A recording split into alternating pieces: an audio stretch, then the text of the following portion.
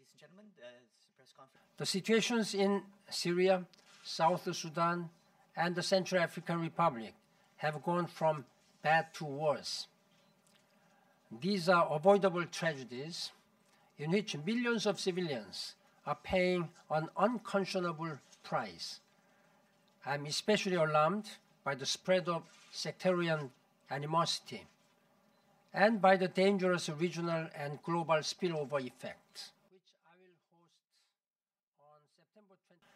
I appeal to the warring parties and all those with influence over them to recognize that there is no military solutions to this conflict and work for a political solution that implements the Geneva Communique.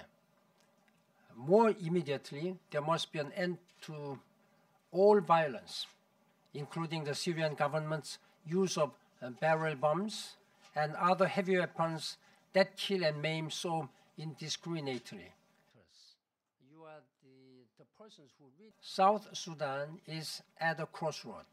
This crisis can be resolved only at the negotiation table, and I urge the two sides to negotiate in earnest. In the Central African Republic, we must strengthen the African led mission and do more to prevent the spiral of violence from spreading. Earlier today, the President of the transition and the Prime Minister resigned.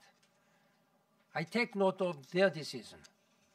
I urge all political actors in the country to work urgently to restore security and law and order and to address the root causes of the persisting instability. I am alarmed by this morning's announcement of well over 1,000 settlement units. Such activity is not only illegal, but also an obstacle to peace. Displace the persons in several uh, United Nations. Thank you.